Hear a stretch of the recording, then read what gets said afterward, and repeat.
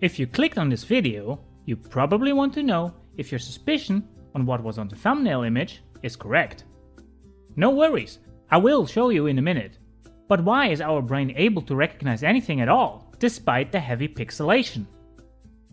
For this, we will discuss the study of Wischnewski and Peelen from 2001 in our series Neuroscience in 3 Minutes. Start the clock. Wischnewski and Peelen studied the interactions between visual brain regions during context-based visual recognition.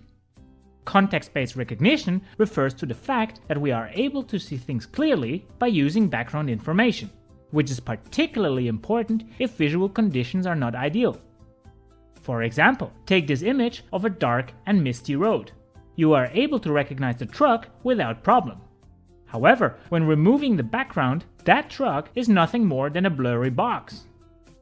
This means that at some point, visual information about an object within our focus and the background needs to be integrated. Two candidate brain regions are the lateral occipital cortex, abbreviated as LOC, and the occipital place area, abbreviated as OPA. The occipital place area is activated when seeing places and background sceneries, like a beach, a forest, or a city setting. On the other hand, the lateral occipital cortex has been shown to respond to all kinds of isolated objects, such as cars, tables, household items, but also outlines of animals and humans. Since our vision is heavily context based, one would expect these regions to communicate. But when does this happen? And where is the information combined? These are the questions that Wischnewski and Peelen attempted to answer. Their goal was to disrupt brain activity of these two regions using transcranial magnetic stimulation, and did this at different time points after showing an image. Two kinds of images were shown isolated objects with no background, or images with blurry objects and a complete background. Participants were asked which object they saw.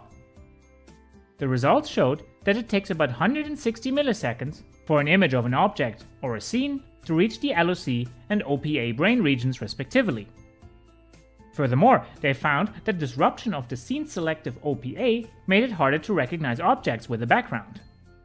Even though the OPA itself does not process the object information, it shows that scene information must have been used to recognize the object. Indeed, additionally, they found that the object sensitive LOC is activated at two time points First, after 160 milliseconds after seeing an image. At this time, the LOC processes isolated objects. And then there was the second time window, after 260 milliseconds, when the information about the scene is integrated to recognize a blurry object.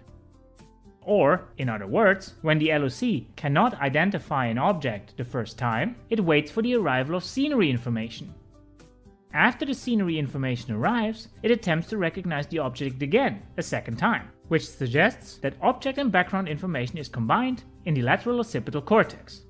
Stop the clock. That's it! We hope you enjoyed the breakdown of this study. If you did, we would be grateful if you could like this video. Anyway, we hope to see you the next time.